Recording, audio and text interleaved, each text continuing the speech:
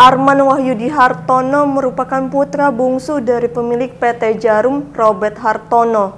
Sang ayah menjadi orang terkaya dengan kekayaan mencapai 263,9 triliun rupiah. Namun hidup Arman justru tak bermewah-mewah layaknya anak sultan.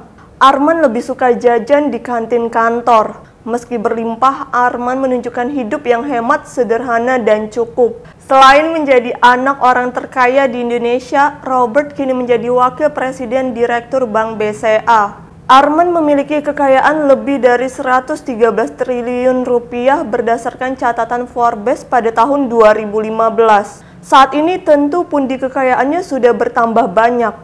Sehari-hari Arman juga tidak boros dalam menggunakan uang dan fasilitas yang ia miliki.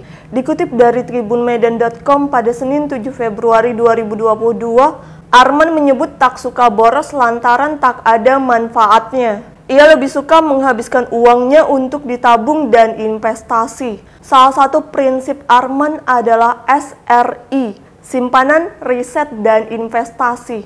Meski menjadi anak terkaya di Indonesia, Arman tak menjaga gengsinya saat di kantor.